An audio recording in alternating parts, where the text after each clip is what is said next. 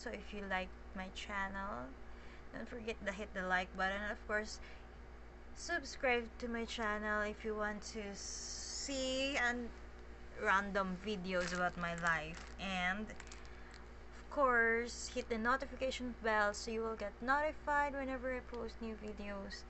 Spread the love spread the love and no hate. Ladies and gentlemen bye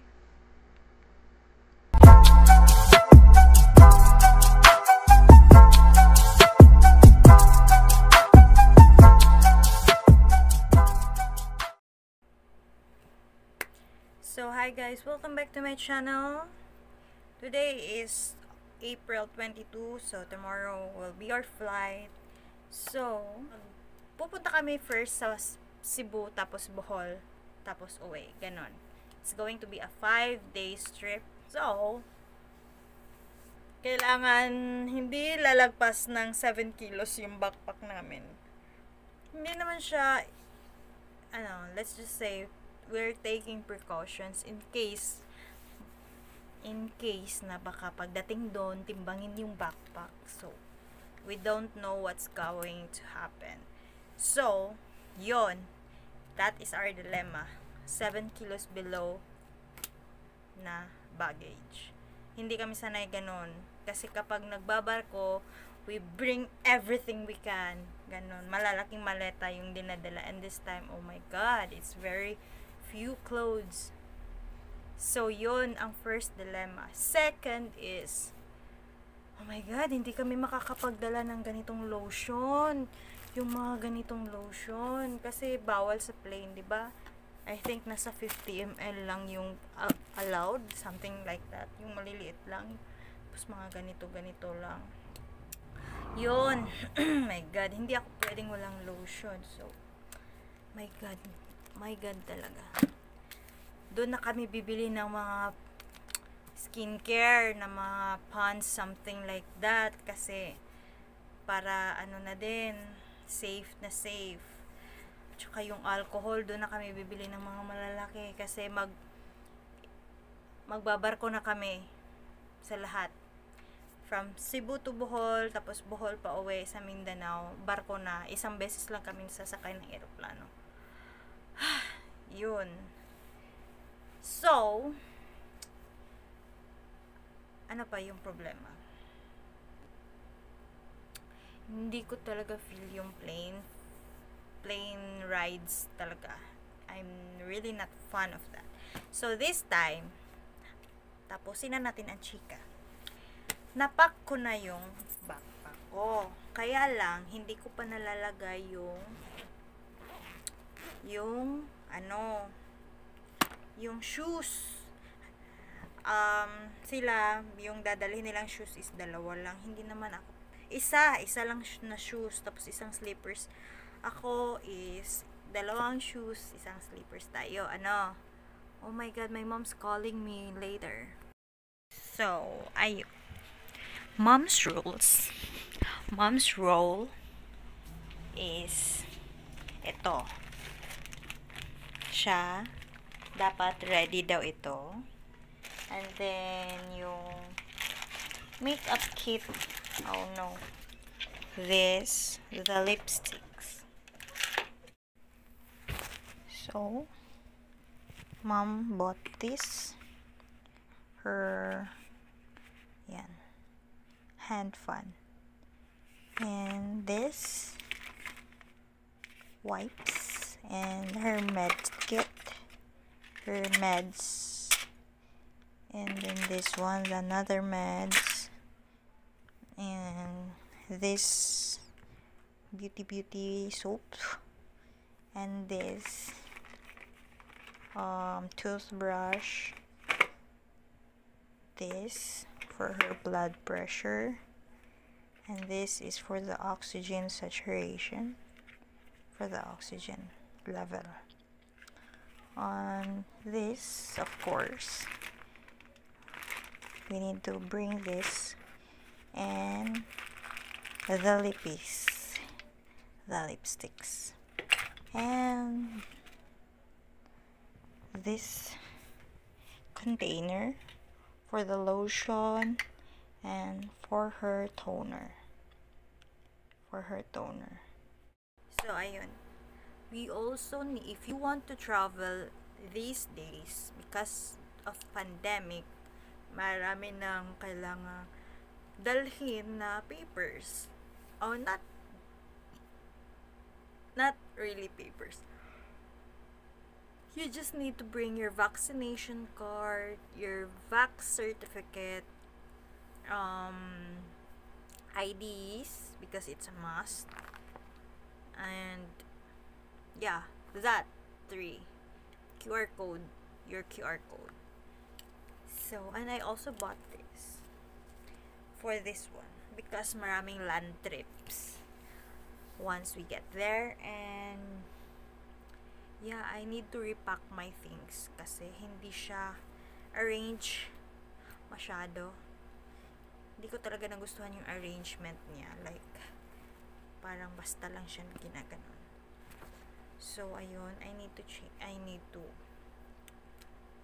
um, rearrange my things and check everything, recheck everything, and the IDs, vax certs, and I also need to print my vax certificate tomorrow and have it, you know, um, what you call this, have it laminated so that it won't get destroyed. Like, literally. So, ayun. At, i-change ko lang yung arrangement ng clothes ko. And I need to check also if nadala ko na lahat yung clothes. Kasi baka dumating ako doon, wala akong panty. Baka dumating ako doon, wala akong bra. At baka makalimutan ko yung mga ano, mga pangrampa sa beach. Kasi my beach, of course, it's Bohol anyways. So, dapat rampa, rampa, rampa, rampa. So, yun. And, I need to try my outfit for tomorrow. Gusto ko lang tingnan if expectation versus reality ba talaga. Expectation equals reality. Hindi versus reality. Yun. So, okay. If you want, you can watch me as I rearrange my clothes. Okay? Time-lapse na lang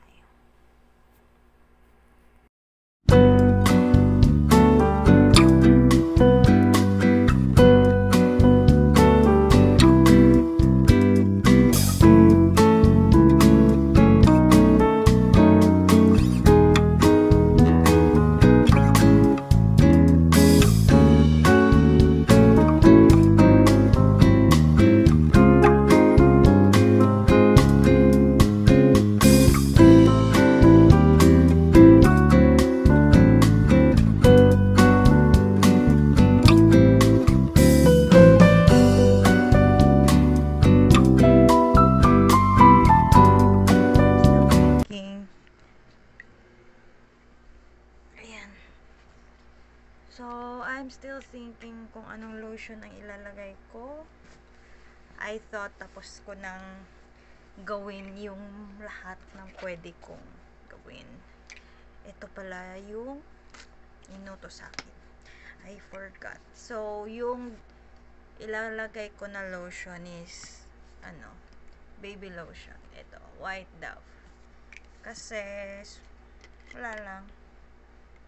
Ito yung ginagamit namin. Paano ba to guys? Wait lang. Oh! Yan. Yan na.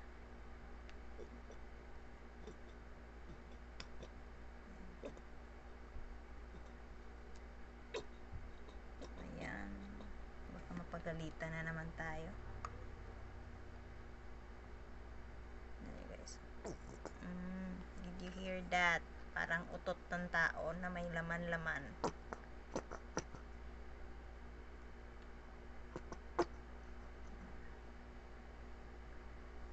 Ayan siya. lotion number one.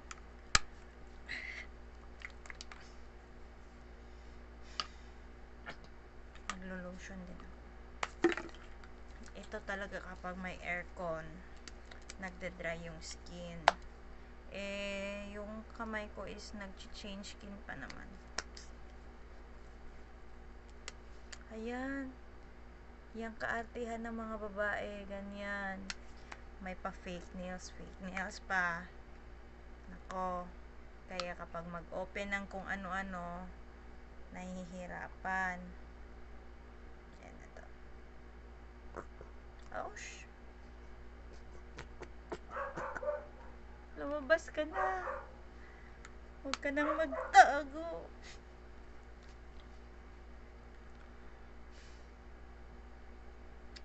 So, ito lang yung gagawin ko. Huling gagawin ko.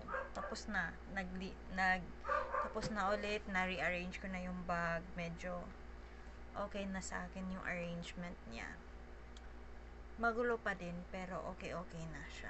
Compared sa kahapon.